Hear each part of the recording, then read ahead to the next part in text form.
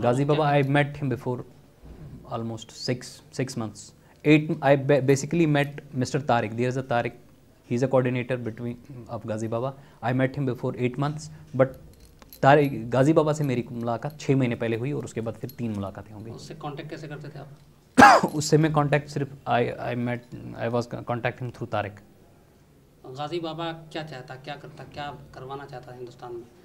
कभी उसने कुछ गाजी बाबा ये कह रहा है बस कश्मीर को आज़ाद कराना है तब तक बैठना नहीं है चाहे कुछ भी हो क्या हो और तारिक तारिक का क्या रोल है Tariq is a coordinator near he is working for Ghazi Baba for Jaish अच्छा ये लैपटॉप जो इन लोगों को जो आपको दिया था उस मोहम्मद हम्म, ने yes. ये गाजी बाबा तक पहुंचाना है तो जब वो लैपटॉप पर दस लाख रुपए दिए तो उसने और भी कुछ कहा था कुछ मैसेज दिया था आपको Yeah, he, he gave me a laptop, Mohammed. He gave me 10 lakh rupees. He gave me 25 25,000 rupees also for my own self. Na? That was for me.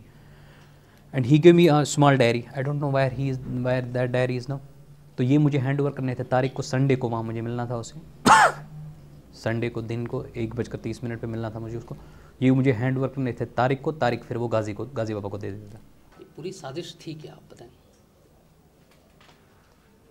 Basically ये जो पाँचों बंदे पार्लियामेंट में जो घुसे थे ये पाँचों पाकिस्तानी थे इनका जो बेसिकली चीफ था, उसका नाम था मोहम्मद। उसके बाद जो चार उसके साथी थे, एक का नाम था हमज़ा, दूसरे का नाम था हैदर, तीसरे का नाम था राना और राजा। इनकी बेसिकली जो मेन मोटिव ये था कि अंदर जो लोकसभा में एमपीज़ है, जो भी यहाँ की पॉलिटिकल एस्टेब्लिशमेंट जो कंप्लीट पॉलिटिकल लीडरशिप जो है, उसको ख़त्म करना।